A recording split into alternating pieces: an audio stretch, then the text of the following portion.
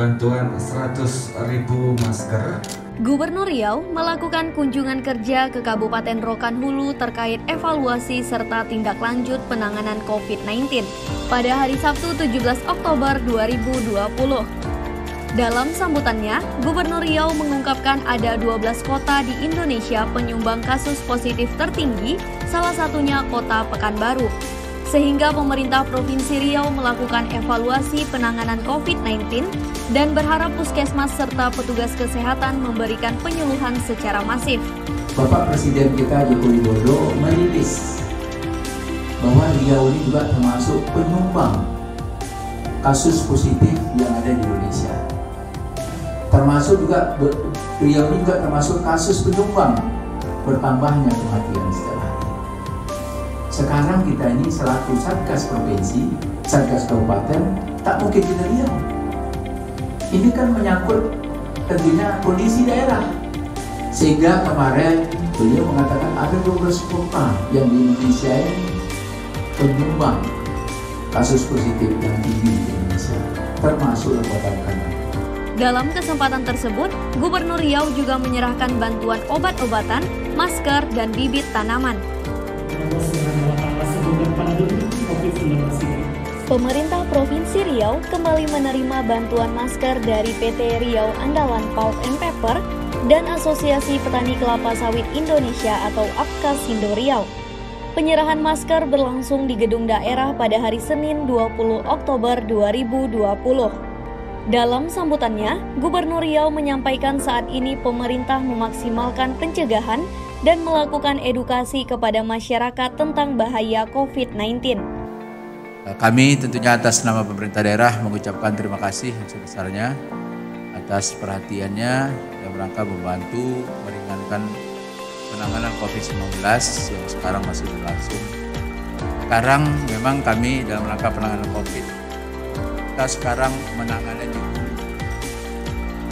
Maksudnya di hulu ini memang mulai dari upaya pencegahan yang diperbanyak sekaligus juga memberikan edukasi kepada masyarakat kita agar dia tahu tentang bahaya COVID-19 apa yang kemarin sekarang laksanakan di hulu ini maka sekarang kita harapkan agar jangan sudah terjadi COVID nanti positif baru kita sibuk PT Riau Andalan Pulp and Paper menyerahkan 100.000 lembar masker, sementara Apkasindo menyerahkan 50.000 lembar masker. Gubernur Riau menghadiri panen jagung kelompok tani santri Indonesia di RA Kopi Aren Agrowisata Jalan Palas, Kecamatan Rumbai, Kota Pekanbaru pada Senin 20 Oktober 2020. Dalam kesempatan tersebut, Gubernur Riau menghimbau masyarakat untuk meningkatkan produksi tanaman pangan, baik padi maupun jagung serta ubi guna persiapan pangan dalam menghadapi pandemi COVID-19. Hari ini kami bisa uh, melihat tanaman jagung yang awalnya uh, diminta oleh uh, Pak Rusli Ahmad ini untuk menanam perdana. Jadi alhamdulillah hari ini sudah panen dan hasilnya juga cukup bagus menurut apa yang disampaikan oleh Dinas Pertanian termasuk yang cukup bagus dan inilah nanti hasil sesuai prioritasnya dan inilah yang akan dikembangkan di wilayah kabupaten yang kota yang ada di Riau ini dalam rangka untuk meningkatkan ketahanan pangan. Kami mengimbau kepada seluruh masyarakat Riau, mari kita tingkatkan produksi tanaman pangan kita, baik tanaman padi maupun juga tanaman jagung, nah, termasuk tanaman ubi, karena bagaimanapun kita butuh tentunya kesiapan pangan kita untuk menghadapi pandemi COVID-19 karena semua negara sekarang adalah butuh pangan. Jadi karena itu sekarang ini kami di Provinsi Riau sedang menggalakkan upaya untuk meningkatkan ketahanan pangan, baik meningkatkan uh, usaha tanaman padi maupun juga tanaman jagung uh, dan juga tanaman ubi dan ini semua adalah bagian untuk uh, meningkatkan ketahanan pangan yang ada di Provinsi Riau. Alhamdulillah uh, di sela-sela kesibukan beliau. Gubernur Riau menghadiri sarasehan dengan pimpinan Pondok Pesantren Seprovinsi Riau dan Kepala Kantor Wilayah Riau secara virtual di kediaman Gubernur Riau Rabu 21 Oktober 2020. Gubernur Riau menyampaikan dalam mewujudkan pondok pesantren yang ideal, ada tujuh standar yang harus dimiliki oleh pondok pesantren guna terwujudnya fungsi pesantren yang baik.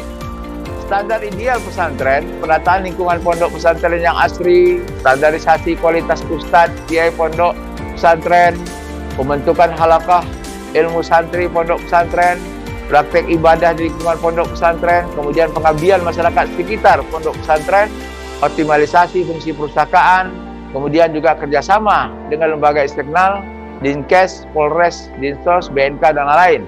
Fungsi pesantren sebagai pengkaderan pemikir-pemikir agama, Center of Talent, kemudian sebagai lembaga yang mencetak sumber daya manusia, sebagai lembaga yang punya kekuatan melakukan pemberdayaan masyarakat, agent of development, kemudian juga sebagai bagian yang terlibat dalam proses perubahan sosial, social change di tengah perubahan terjadi. Terima kasih kami sampaikan kepada semua pimpinan pondok pesantren dan ketua forum uh, bersama seluruh pengurus. Ya, kami mengucapkan terima kasih yang sebesar-besarnya atas nama pemerintah Provinsi Riau bersama Pak Kakanwil Kementerian Agama Provinsi Riau yang telah menyelenggarakan salat ini.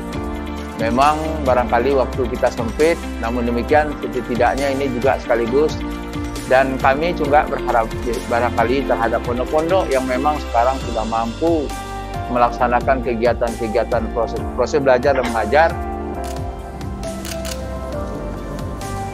Gubernur Riau mengikuti rapat penanganan COVID-19 bersama Menteri Koordinator Kemaritiman dan Investasi Republik Indonesia secara virtual di Gedung Daerah Balai Serindit Rabu 21 Oktober 2020. Dalam kesempatan tersebut, Gubernur Riau menyebutkan langkah yang diambil pemerintah guna penanganan COVID-19 di antaranya menyediakan tempat isolasi bagi kasus ringan dan gencar melakukan penyuluhan secara masif ke daerah. Beliau ini memang yang tinggi ini adalah kota baru jadi 50 50,5 persen itu adalah ini dari uh, baru. Yang apa yang terjadi selama ini di baru ini memang banyak kemarin melakukan isolasi mandiri itu kebanyakan di rumah Kemudian minggu lalu kami sudah rapat dengan Pak Wali Kota bahwa yang isolasi sendiri yang ringan ini memang kita sudah siapkan juga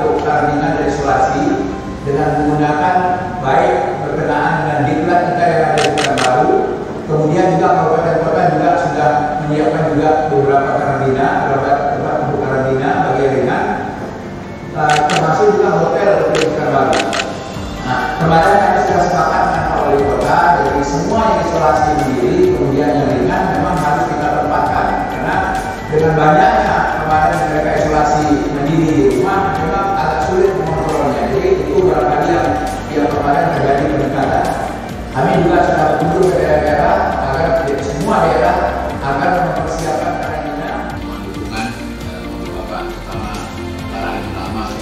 Gubernur Riau membuka sekaligus memimpin langsung pertemuan terkait sosialisasi Undang-Undang Cipta Kerja di ruang melati kantor gubernur pada hari Kamis 22 Oktober 2020. Gubernur Riau berharap dari sosialisasi yang dilakukan, nantinya akan ada masukan yang dapat diteruskan kepada pemerintah pusat terkait penyusunan rencana peraturan daerah. Karena memang pada waktu sosialisasi Pak Menteri ini sudah minta kepada kami masuk masukan terutama yang berkaitan dengan RPP yang rencana peraturan pemerintah karena tidak membantu kita dalam memberikan masukan terhadap kesempurnaan rencana peraturan pemerintah yang akan nanti ditindaklanjuti dalam cipta kerja. Jadi karena itu tadi alhamdulillah ada berbagai masukan yang disampaikan oleh kami Rabbana atina fid dunya